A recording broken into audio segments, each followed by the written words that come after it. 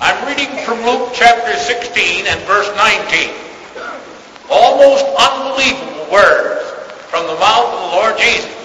Notice he said there was a certain rich man which was clothed in purple and fine linen and fared sumptuously every day. And there was a certain beggar named Lazarus which was laid at his gate full of sores and desiring to be fed with the crumbs which fell from the rich man's table, more of the dogs came and licked his sores. And it came to pass that the beggar died and was carried by angels into Abraham's bosom, or into paradise, or into Hades, or into the unseen world. Easy to understand. Into heaven. Now pick up the story. The rich man also died and was buried. And in hell. He lifted up his eyes, being in torments, and seeth Abraham afar off and Lazarus in his bosom. And he cried and said, Father Abraham, have mercy on me. And send Lazarus to dip the tip water and cool my tongue, for I am tormented in this roaring flame. It says in the Greek language. Look up from your Bibles. This is the story of two beggars. One that begged in this life and one that begged in the afterlife. This is a story about an unsaved soul that went to a place called hell, where there's real flame, where he suffered the pain of flame even as you suffered here on earth. Dr. Joseph Cook, one of the great intellects of the past, had this to say, let the churches banish from their pulpits the doctrine of hell for a hundred years. It'll come right back. For not only is it a cardinal doctrine in the Bible, but it's in the very nature of things. For every person must be either pardoned or punished. 260 chapters, or rather 262 chapters in the New Testament, and 234 of them teach about a place called hell. Now I believe for a reason. Jesus taught much about heaven. He talked about the second coming. He talked about the resurrection. He talked about all the doctrines. But he taught ten times more about hell than he did heaven. I believe for a reason. You do. I believe that Jesus taught ten times more about hell than he did heaven because he didn't want anyone to go there. You have scripture proof for that? Yes, I do. In Matthew 25, 41.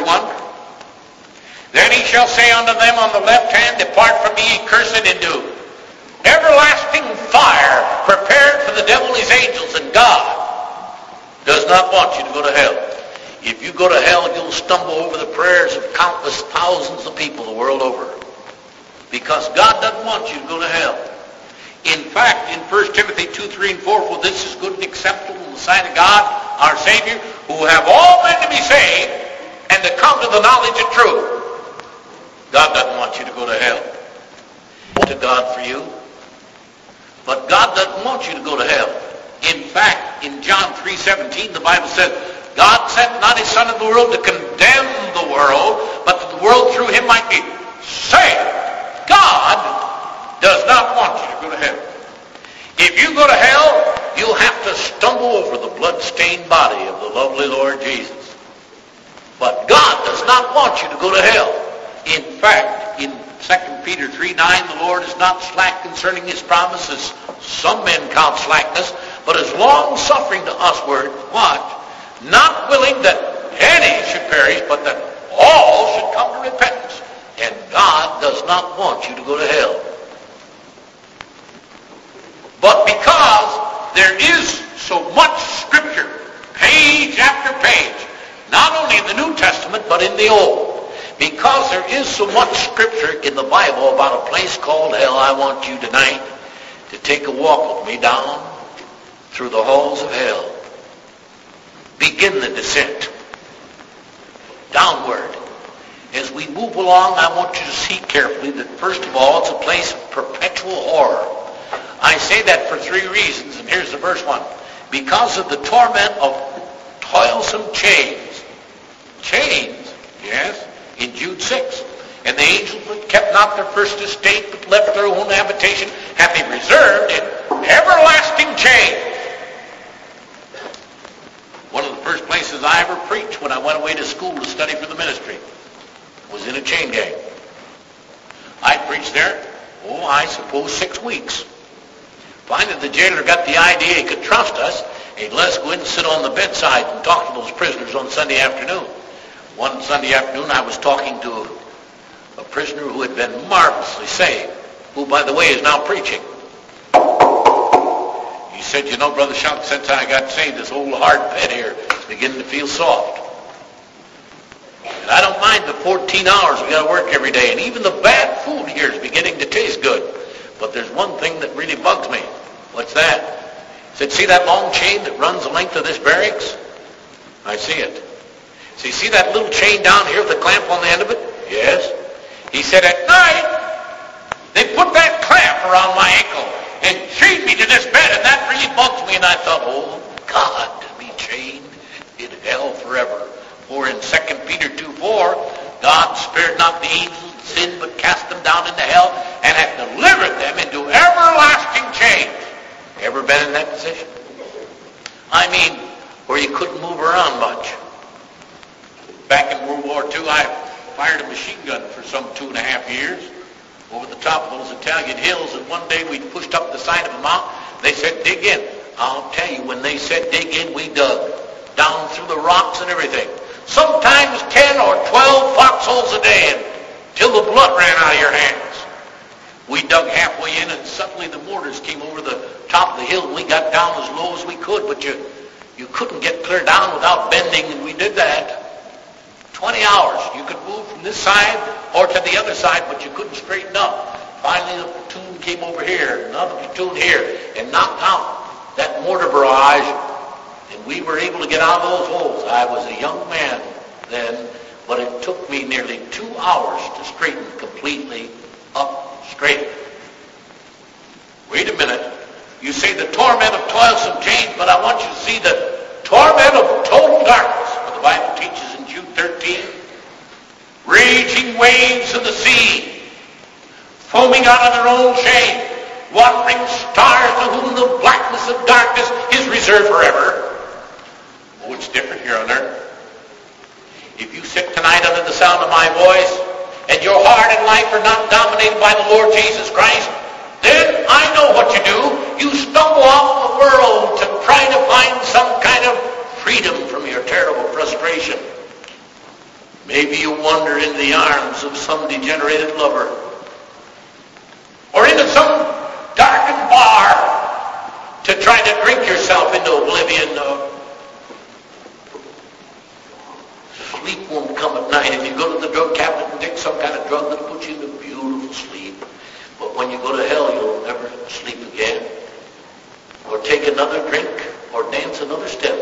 And the only arms you ever feel will be the arms fire. Look, the Bible teaches in 2 Peter 2.17, these are wells without water, clouds that are carried out without a tempest, to whom the midst of darkness is reserved forever. Dr. Jack Hyles said he and his wife went down into the cave of winds. Now that's the deepest the Americas. When they got down there, he said, our, the speaker came on and said, now everybody take a hold of hands we're going to turn out the lights and let you experience total darkness. Now, please take a hold of hands because it's frightening. So he said we did. And the lights went out. Now, a moment, he said, I'll pick up my wife's silhouette. Couldn't, couldn't see her. I struggled to get my hand loose, but did. I said, I'll see my hand and couldn't see it. Put my fingers up in front of my eyes, but couldn't see them. No wonder then in Matthew 8, 12, but the children of the kingdom shall be cast into outer darkness, and there shall be weeping and wailing and gnashing of teeth. Outer darkness. You know what that really means? Here's a man at a gay party where music bounces to jeweled chandelier and back down to the the wine is being poured. Laughter is gay when suddenly two strong-armed guards come in from a side room and grab this man and take him forcibly out into the desert, down into a dungeon. There they chain him to the wall and leave him until his body dies and the flesh rots off his bones. And that's exactly what the author's trying to teach when he calls it outer darkness. It's a place of perpetual darkness. It's a place where there's the torment of toilsome chain. And I want you to see this. It's a place of perpetual horror because of the torment of turbulent memories. For here, in Luke 12, 4 and 5, the Bible says, But I forewarn you whom you shall fear. Fear him, which after he have killed hath power to cast into hell. I remember some years ago I read those two verses and I believe that God reached down with a holy hand and took a hold of the lid to the pit of hell and lifted it up let me look down inside into hell. I saw a great river of fire. You could hardly see from one side to the other. It moved along endlessly. The scream so loud that you couldn't hear yourself think. It would move along and bounce against great piles of brimstone, and that fire would dance a thousand feet into the air, playing grotesque shadows against the walls of hell. Maybe when that flame dashes in the air, some terrible demon from hell jumps up on a pile of brimstone and begins to cackle. I forewarned you. I can almost hear it. I forewarn you! Echoing down the halls of hell and coming back to beat your eardrums forever, and you'll remember. For in Luke 16:25, what Abraham said, Son, remember that thou thy lifetime received good things and likewise Lazarus evil things. Oh, you'll remember, all right. You will remember right now as I pulled across your memory pattern. The Christmas dinner and the whole family's there. Smile. You've had a steak dinner with the friends that you love. You've mowed the lawn. It's 90 degrees. The wife meets you with a glass of ice water at the door. But when you go to hell, it'll be the in the ice. And no more mother's smiles or the feel of anything but fire around your neck. And you've got to be a fool if you go to hell and not come to Christ. For the Bible teaches in Isaiah 57, 20, But the wicked are like the troubled sea that cannot rest. There's no rest, said the Lord to the wicked. I tell you that hell is a place of perpetual horror. But take the steps that are necessary as we go on downward and walking through the halls of hell. I want you to see, second of all, it's a place of perpetual fire. That's F-I-R-E. For here in Isaiah 30 and verse 33, the Bible says, For hell is ordained of old, and God hath made it deep and large, and the pile thereof is fire and much wood, and the breath of the Lord like a stream of brimstone that kindle it. That's not the Baptist idea, nor the Methodist. That's Bible, clear and simple. Uh, Joe Henry Hankins, does that ring a bell? They used to call him the weeping prophet. He lived to be way past 80. I believe he preached even when he was in his 80s. But when he was a little boy, he went uptown, they were building a huge building, and he wanted to see that. They finished the foundation, pushed the debris in the middle of that. Some careless workman poured gasoline on top of that threw a match. That explosion picked up little Joe Henry Hankins, put him clear across the road, 90% of his body burned. They picked him up, rushed him to the hospital, and put him in a hammock affair because his body couldn't stand the clothing. The family was called. Mother was by the hammock. The doctor comes out the door and said, you better go in. All will. He's not got but about 10 minutes. The family room. He went deeper and deeper into that coma. All of a sudden, something snapped. He started out of the coma. Then the feelings came into his body. He tried to scream. The coma started to take over again. He started to go into it, and he said, Mother, what, what time is it? She said, Joe, it's 10 o'clock at night. Weeping. Then he said this. Mother, won't the night ever end? It ended for Joe Henry Hankins. And God brought him back alive. Scarred, but to preach the gospel until he is past 80. But when you go to hell, you will feel every second of pain that Joe Henry Hankins felt in its intensity. got to be a fool if you go to hell and not come to Christ. In Luke 16, 24. And he cried and said, Father Abraham, have mercy on me. And said Lazarus, that he may dip the tip of his finger in water and cool my tongue, for I am tormented in this roaring flame. Flame?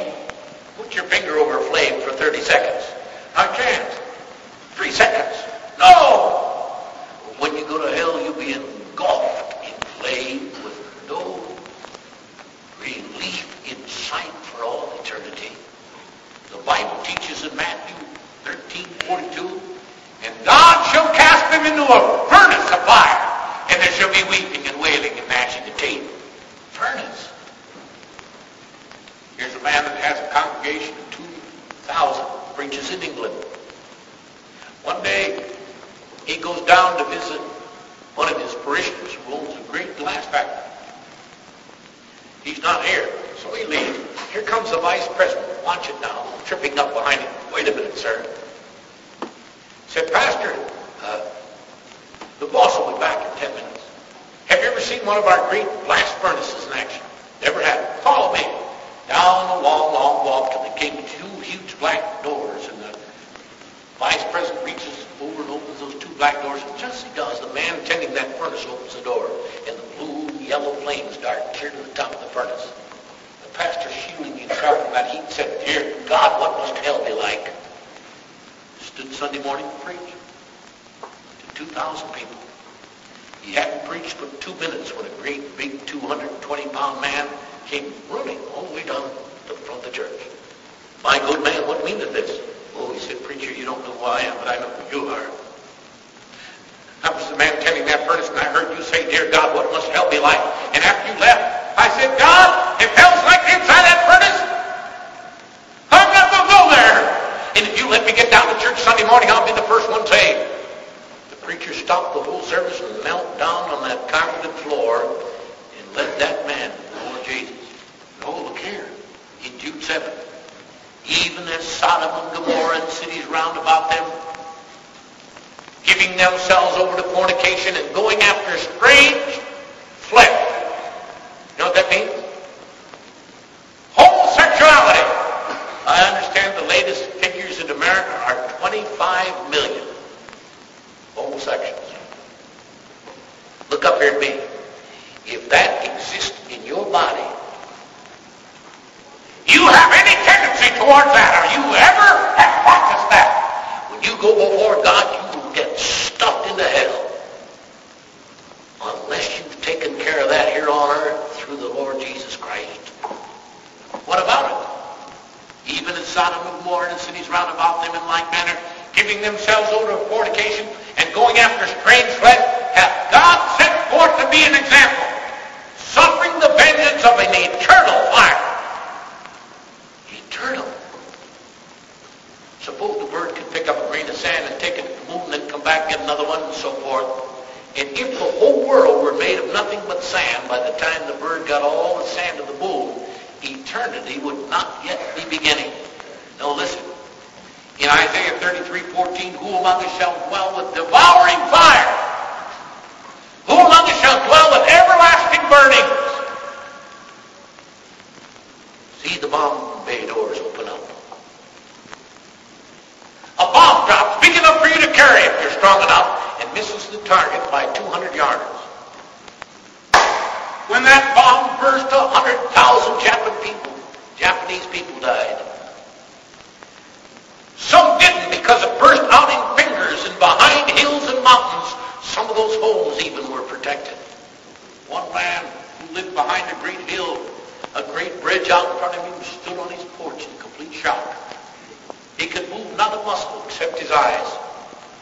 He said suddenly, as he had stood there for many hours, he heard something up on top of the hill yelling. And he looked up, and over the top of the hill came hundreds of colored people. He said, not only have I, am I in shock, but I've lost my mind. There are no colored people in Japan. Down the hill they come. Some would fall, and others would trample them to death. Some got the bridge and stood on the bridge and cursed and jumped in the water, committing suicide. Oh, he said, it's when they cursed that I came out of my shock. These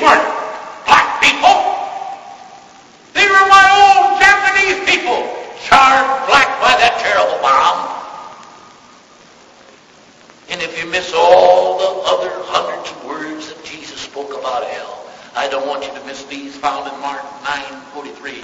Jesus said, if your right hand offends you, cut it off. For it's better for you to enter life maimed than having two hands to go into hell's fire where the worm dieth not and the fire is not quenched.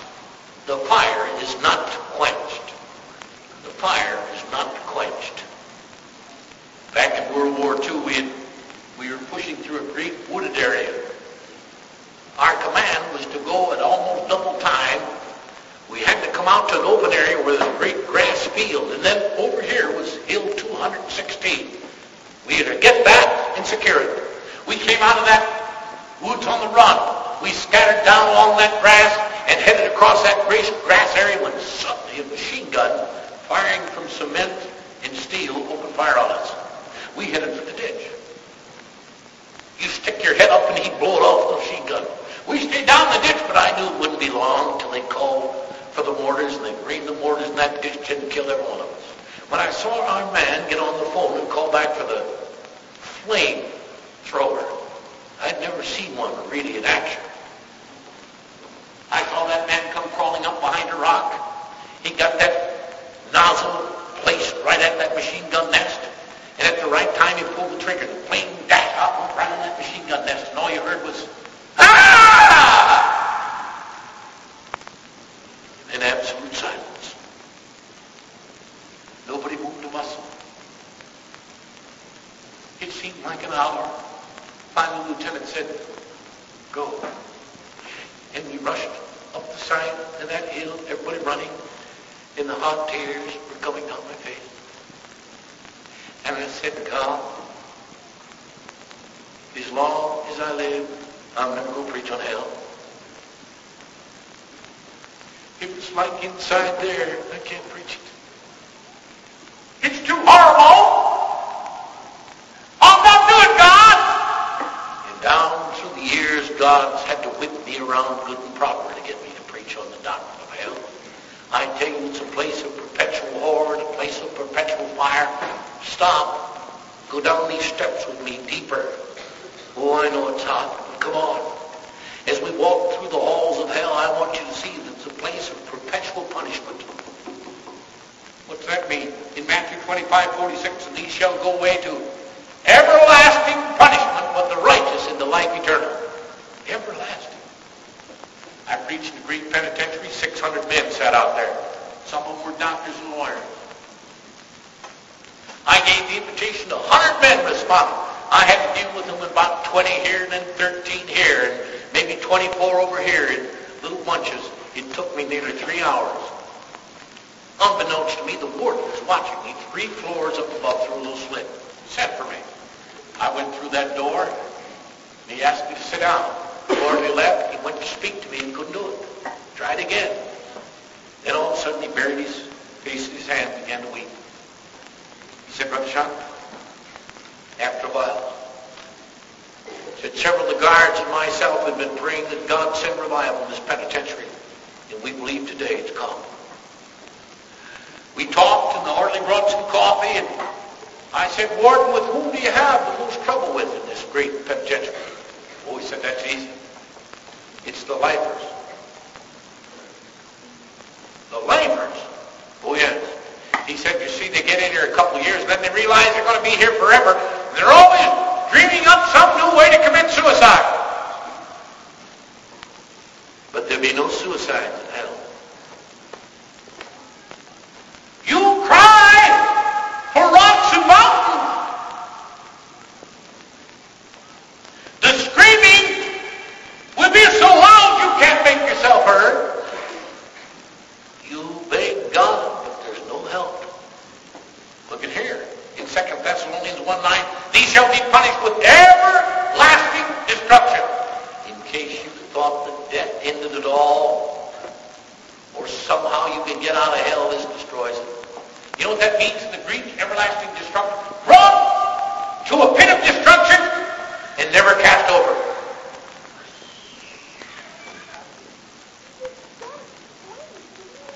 Well, there's such excruciating torment it can't be fully scratching and turning and twisting and pulling to get one finger out of the fires of hell for five seconds. Your best friend will be right next to you. There'll be no such thing as friendship. You'll never be alone. There'll be no comas in hell. No drugs. No love. No sex. No compassion. No friendship.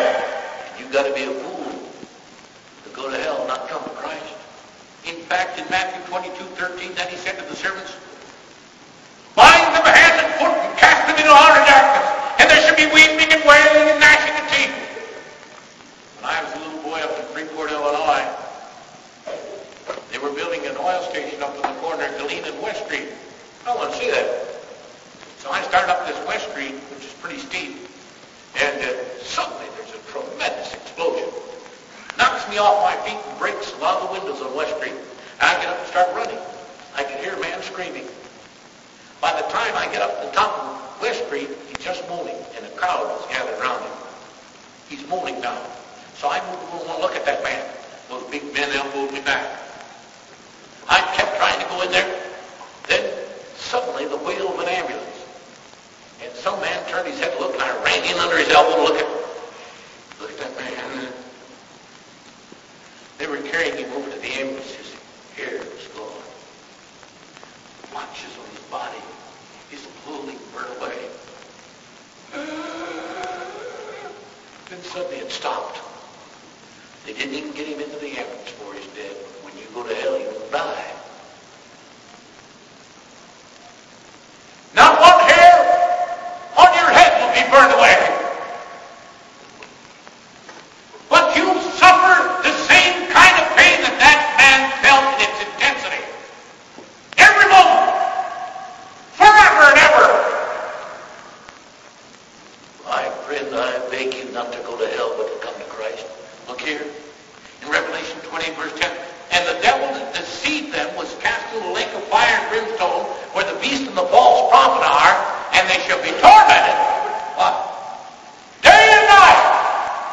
Forever and ever. This in Luke 13, 28. There shall be weeping and wailing and gnashing of teeth when thou shalt see Abraham and Isaac and Jacob in the kingdom, and ye yourself thrust out. Never to be alone again. Never to have any kind of freedom of choice. Never to breathe anything but fires. I remember reading about a lady worth over $10 million. The doctor left her room, called for the old son who was the caretaker of the great estate. She hasn't got much time. She wants the relatives will come. The phone calls and the telegrams went out. 17 relatives gathered in one room. This is a Christian lady that's dying. And over in this room, every person in that room is a born-again Christian, except the youngest son who is a latent, rotten atheist. They come in, they prop that dear lady up in the bed and fix her hair, and then they come over and kneel, they talk to mother, their tears. They get up to go, and she says, good night, son, good night, daughter, I'll see you in the morning. Same with the grandson. They go through the door, finally the old son turned and he swaggers over kneels down beside mother, but when he kneels and starts talking, there are tears. It's his mother. He gets up to go and she says, goodbye, son. So he goes and takes hold of the handle of the door to go out and stops. Comes back and he says, now mother, I know you're very ill. I've got something I want to ask you. Every person that knelt here, when they left, you said good night, son, good night, daughter. And when I kneel here, you tell me goodbye. Now I want to when you said that. Tears start down her face, no expression. My son, she said, you're the only one that's never come to Christ. We're going to heaven, and you're going to have to go to hell. We'll never see you again, so it's goodbye, son. So angry, he didn't know what to do.